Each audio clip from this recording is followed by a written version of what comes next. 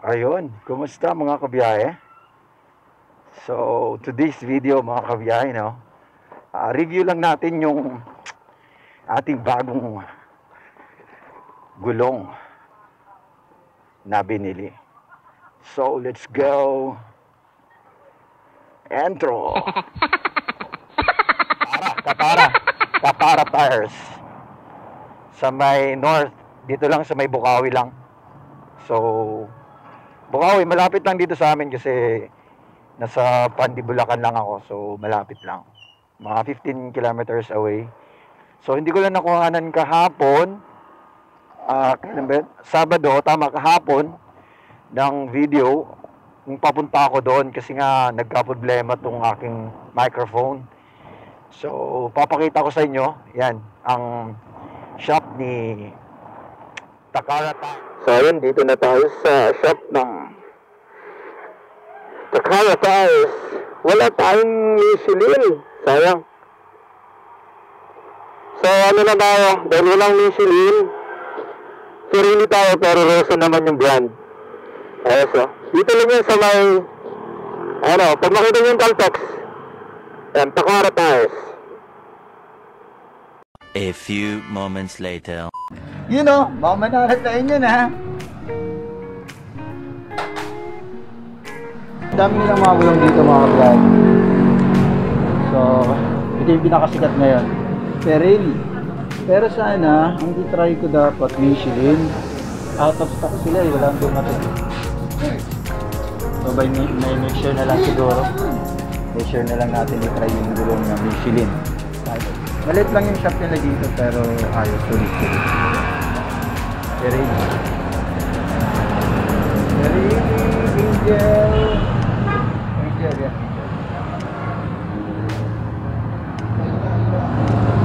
Michelin. Concealer.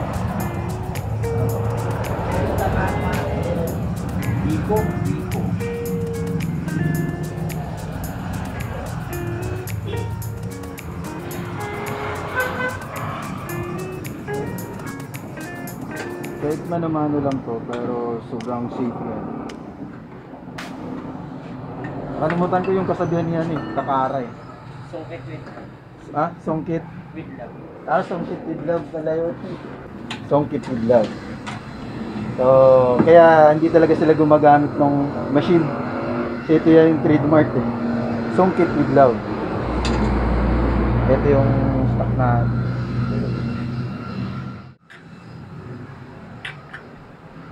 Yan. Tito, silan. Free yan dito, idol, no?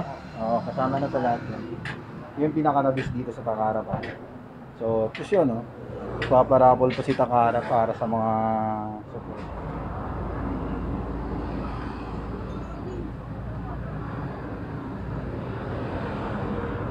A few moments later. As you can see mga kabiyahe, no, ah, may pa pinapakit, may pinilapan akong ah, isang ma- maliit na sticker. Ah, raffle sticker yan.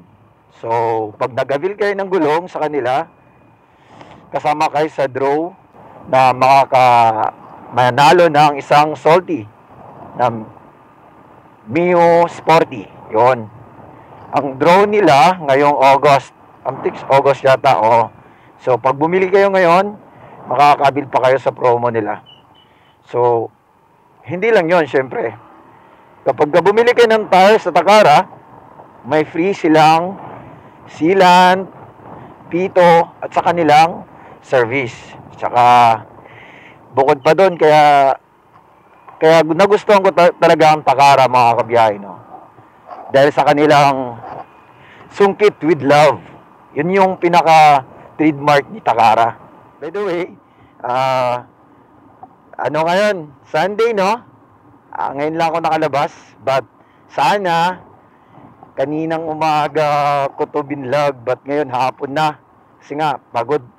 Saka, ano din, naka-sideline din ako, naggupit-gupit din ako. Then, tinamad na. So, dapat, mag, ano kami, ma, ah, ilabas ko yung anak ko, di ba, Father's Day ngayon. So, happy Father's Day. Hindi pa naman huli ang lahat. Happy Father's Day sa mga boss ko. Si Francis Jan Francisco, Edison Diaz, sa mga ka- kasama ko sa trabaho. GR Buhain, ah, Mark Fajardo, sino pa ba mga tatay na kasama ko? Is, nakalimutan ko na, wait lang. Eh, yun lang mga nakilala ko eh. Ayan. So, ikot tayo. So, shout out sa inyo mga boss. Happy Father's Day. But, well, of course, may ang ano sa akin, ang nagpalaki, syempre yung tatay ko. Well, I miss you, Papa. Na-miss ko na yung Papa ko kasi almost 15 years na kami yata hindi nagkikita. Ah, hindi. Pumunta siya dito sa Manila, but sobrang tagal na. So, Happy Father's Day, pa. Yan. Salamat, salamat. And to my two brothers, Jonathan Solis and Giovanni Solis. Shout out mga brothers. Happy Father's Day sa inyong lahat. Sa inyong dalawa pala. And sa mga kapitbahay ko na mga kumpari ko. Yan. So, si Paring Busyo, Father's Day, pre. Saka aking inaanak ngayon. Birthday pala ng aking inaanak ngayon. Si, ano, si, nakalimutan ko na, anong, si Baste. Hindi, hindi si Baste yun. Yun. Shout out, happy, bir- happy birthday, nanak. Ayun, nagiinuman sila, pero ako parang wala ako sa mood, parang na-acid na naman ako. So, ayun. Ah, gulong natin ngayon is Pirelli pa din. Pero naging Diablo Rosso na. Kasi hindi hindi ah wait lang. Diablo Rosso Pirelli. Yung pinalitan natin ah Pirelli na Angel. 'Yon. Sulit naman yung Pirelli Angel. Mga 1 year and 3 months and yung kilometrahe niya almost 14 14 kilometers. Ah, 14 kilometers. 14K. Yan, 15K yata umabot. Rosso, dual compound sila. Dual compound si Diablo Rosso, no?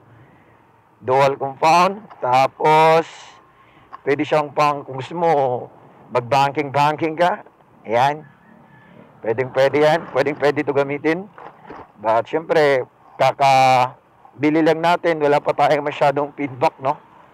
Pero, ah, ngayon pa lang, sinasabi ko na sa kanyo na ramdam ko yung kanyang kapit. What I mean to say is, parang akala ko, flat yung gulong ko. Yung pala hindi. Siyempre, nung hinawakan ko sa ako, parang flat. So, parang nakalapat siya sa lupa. Talagang, yung angel naman, nakakakaba kasi sobrang tigas. Hindi ko alam. Pero, kaya, pero, ang pinagkaiba siguro doon, matagal siya mapudpod. Eh, hindi ko alam kung matagal to siya mapudpod ito, pero sa performance baka mas maganda to. Hindi ko lang sure kung ilang bang ko siya gagamitin, ilang taon ha. Pero bibigyan ko kayo ng feedback mga 2 months kung maganda ba talaga siya. So for now, quick review lang tayo dun sa ating bagong kabit na Ferrelli Diablo Rosso. Yan. Buhawi. Ang landmark niya Buhawi tapos Caltex. Yan. So ayun mga kabiyahe no. Ah, Shout out lahat sa mga kaibigan kong tatay dyan. Sila Belong, sila Waray, Crisanto, sino pa ba? Ah, sila Sami, Kingkoy, ta Tata, dami. Dami nila. So, shout out sa inyo. Happy Father's Day. Enjoy and ano, sungkit with love sa alak. so, ayun, hanggang sa muli. Go-